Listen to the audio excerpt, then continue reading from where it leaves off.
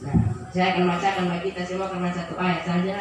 Amsal pasal 6 ayat 6. Hai pemalas, pergilah kepada semut, perhatikanlah lakunya dan jadilah bijak. Sekali lagi, hai pemalas, pergilah kepada semut, perhatikanlah lakunya dan jadilah bijak.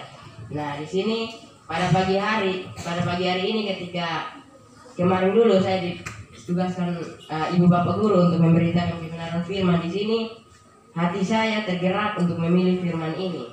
Karena senantiasa zaman sekarang kita tahu sendiri pribadi kita masing-masing perilaku kita masing-masing yang orang kupang bilang pemalas mati nah yang orang kupang bilang pemalas mati sehingga saya memilih firman ini terkadang kita malas di sekolah kita malas di rumah kita malas di mana saja sehingga saya tergerak untuk memilih firman ini.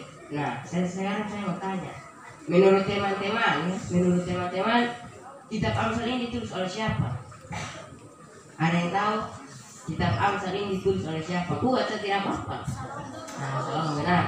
Nah, Salomo ini adalah anak dari Raja Daud ya. Di sini ada yang nama Daud. Di sini ada yang nama Daud.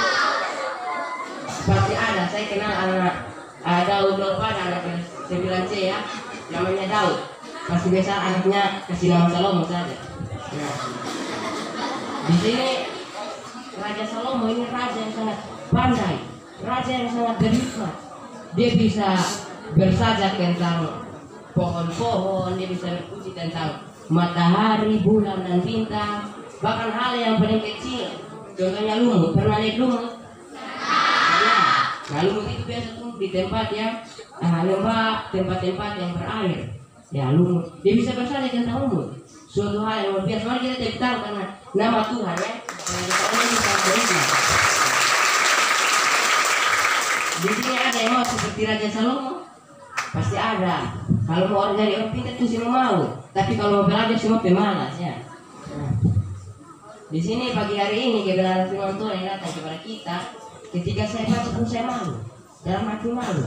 Wih, kita manusia yang begini besar. Yang kalau semua lihat saja masih ada kepala 10 meter. Baru lihat manusia begini besar. Raja Salomo memberikan nasihat supaya kita pergi memperhatikan semut yang begitu kecil. Yang kalau hanya besar kalau lihat pakai kaca pembesar nah di sini kalau kita lihat semut semut ini hewan yang paling senang rajin bekerja dia sangat giat dalam bekerja jika mungkin ada beras tumpah. Semut semut sudah keluar dari lubang masing-masing satu orang pikul satu beras satu beras satu beras. Hingga beras itu tumpah mereka uh, masukkan ke dalam rumah mereka. Supaya ketika hujan mungkin mereka tidak perlu lagi keluar cari makanan. Tapi karena sudah ada ketersediaan